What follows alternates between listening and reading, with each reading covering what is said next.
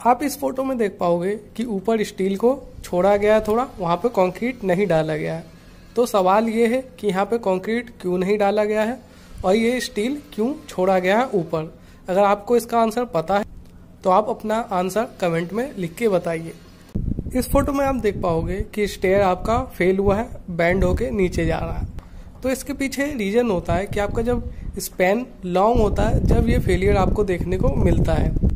जब भी आप स्टेयर की लेंथ तीन मीटर से ज़्यादा रखेंगे उसकी, तब आपको ये फेलियर देखने को मिल सकता है अगर आप स्पेसिफिक डिज़ाइन नहीं बनवाते हैं और अपने हिसाब से करते हैं इस काम को तब। अगर तीन मीटर से कम है लेंथ स्टेयर की, तब चांस है कि आपको इस टाइप के फेलियर देखने को ना मिले। आपको क्या लगता है ये फेल क्यों है? अपनी राय कमेंट में लिख के बता सकते इस फ़ोटो में आप देखोगे कि एक जीना जा रहा है, उसके बाद उसकी लैंडिंग है।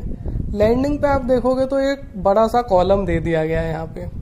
लेकिन एक बात समझ में नहीं आती है जो भी इसको बना रहा है तो उसके पास इतना कम दिमाग तो होगा नहीं कि यहाँ से जीने से इंसान जाएगा। तो यहाँ पे जब जीने से हम ऊपर जाएँगे तो उसके बाद हम कहाँ जाएँगे? अगर वो कॉलम ही दे देगा वहाँ तो थोड़ा कॉमन सेंस होना चाहिए कि दोनों में से कोई एक गलती है और हमें उस काम को वहीं रोक लेना चाहिए और वापस से स्टडी करना चाहिए तो कहाँ से हमें स्टेयर ले जाना है और कहाँ पे हमारा कॉलम है, उसकी पोजीशन को वापस से चेक करना चाहिए। ना कि काम करते जाना चाहिए, गलत हो या सही। तो ऐसा ना करें। अगर आपको ऐसा लग रहा है कि कुछ मिस्टेक है तो वापस आप ड्राइंग में देख के उसे ठीक कर लें। तो इस वीडियो में इतना ही। मिलेंगे अगली वीडियो में।